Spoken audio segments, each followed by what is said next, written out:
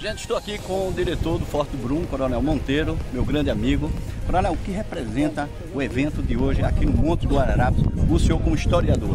É, o evento de hoje é um evento muito bacana, muito tempo que o Exército não fazia solenidade de porte, a gente faz mensalmente a solenidade de troca da bandeira aqui, mas hoje foi uma solenidade significativa, né? 82 anos da 7 Divisão de Exército. É uma, uma solenidade belíssima, simples, mas muito bonita. No local, aqui no Mirante Henrique Dias, né, uma das três elevações que compõem os Montes Guararapes. Muito interessante, rememorando a época dos, das, das invasões holandesas, Batalha dos Guararapes. E tivemos um evento especial porque, digamos assim, foi uma inauguração de uma reedição das obras do artista e historiador Ricardo Fernandes. É, vale a pena visitar, vale a pena conhecer. O parque está sendo é, requalificado, ainda falta muita coisa, a gente sabe, mas daqui para frente isso aqui vai ficar muito melhor e vai voltar a ser um espaço de visitação pública, de turismo, é, de aprendizado para escolas, de visitas, muito bacana. Vem, Vem para cá, cá, que aqui, aqui é, é, bom demais. demais. o projeto Chá da Vida Brasil participando do aniversário da sétima divisão do Exército, 82 anos, né? E, e, a gente vai conhecer também esse parque histórico, os monumentos, né? Da batalha que aconteceu aqui em 1648, no 19 de abril. Está aqui o tenente?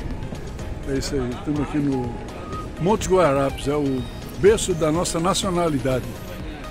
A pátria surgiu aqui. Na verdade, ela começou um pouco em Monte das Tabocas, né?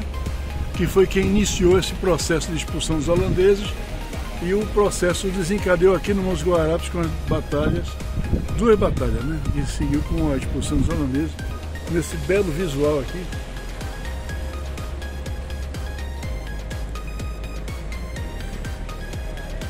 Tenente, eu sempre falo para é, os meus amigos, os visitantes que chegam lá ao Instituto Histórico Geográfico da Vitória de Santo Antão, que, Vitória, que o Monte das Tabocas, né, foi o fato de ter realizado ali o acasalamento, o namoro da nossa pátria surgiu no Monte das Tabocas. Depois de três anos, o nascimento surgiu aqui. Mas, gente, é importante que a fecundação surgiu no Monte das Tabocas. Porque lá derrota, valendo mesmo, do, do invasor holandês. Pois é. E alguém deve estar perguntando, fecundação de quê? Fecundação, gente, da nossa pátria, da nossa pátria. Surgiu em Vitória de Santo Antão. E aqui no Monte das, dos Guararapes, Montes Guararapes, né? Isso. Foi onde surgiu o nascimento, né? O Isso. nascimento da nossa pátria. Né? Exatamente. Aqui temos as figuras aqui dos heróis, né? Dos cinco heróis. Aqui falta, eu vou até, eu sempre falo isso.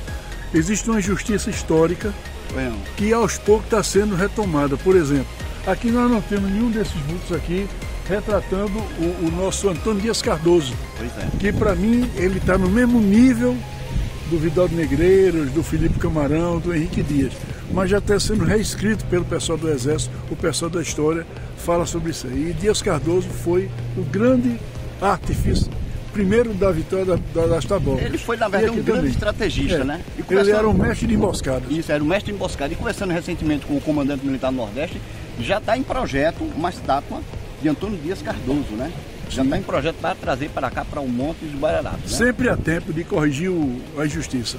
Aí eu quero fazer uma pergunta. Se você deseja, você, se você deseja conhecer o, o Monte dos Guararapes, vem para cá, porque aqui é bom demais. E o tenente vai dar as coordenadas para visitar o Monte dos Guararapes. Qual a cidade? Olha, fica aqui em Jaboatão, aqui na, em Prazeres, né? Pode aproveitar também a visita para conhecer a igreja do Nosso Senhor dos Prazeres, que foi erguida é, em homenagem à vitória do, do, dos, dos luz brasileiros, né? E você aqui entra no site da 7 Região Militar e agenda. Qualquer pessoa pode vir a qualquer tempo. Agora, se vier uma comitiva de escola, Isso. aí tem que agendar porque aí é feita uma visita guiada. Pois é. E interessante que na igreja, né, Nossa Senhora dos Prazeres, é, estão lá os restos mortais de, de João Fernando Vieira Isso, e Vidal Exatamente. Isso? Exatamente. Então são os heróis da, é. da da, da insurreição pernambucana. Na verdade, isso aqui é um solo sagrado. Vem pra cá, porque aqui, aqui é, é bom demais. Ficou bom? Gente, eu quero apresentar agora a vocês o artista plástico Ricardo Fernandes. que ele vai nos falar o sentimento, né, por ter realizado, por ter tá deixando aqui nesse solo sagrado suas peças, suas obras. Qual o sentimento que representa você colocando aqui valor histórico? Sentimento, sentimento de muita alegria, né? Principalmente pela juventude. Esse trabalho que eu faço há muitos anos é exatamente para os jovens. Né? Eu trabalho com museus de ciência e museus de história. Então, você é um preço inestimável ver o trabalho ser tão valorizado pelos jovens, porque você transmite através desse trabalho o, o, o conhecimento da história e também as bases para estruturar uma sociedade dentro de princípios éticos e de honestidade e também patrióticos, né? porque aqui na, nos Montes Guararapes reflete a, o, a criação do sentimento nativista do Brasil, né? de nação, de, de pertencimento. Foi aqui que, primeiramente, se, em documento oficial, se falou em pátria. Né? Pela primeira vez no Brasil, se, tá, se é, oficialmente se registrou a palavra pátria. Então, o, os nossos, os nossos é, descendentes né, os nossos antepassados, eles nos transmitiram isso. E esse sentimento deve ser repassado para novas gerações. A missão desse parque é exatamente isso. Muito bem. E, gente, logo, logo teremos lá no Instituto Histórico Geográfico obras né, do nosso artista plástico Ricardo Fernandes. Então, um forte abraço para vocês. E se vocês desejam conhecer o Montes Guararapes, vem para cá porque aqui é bom demais.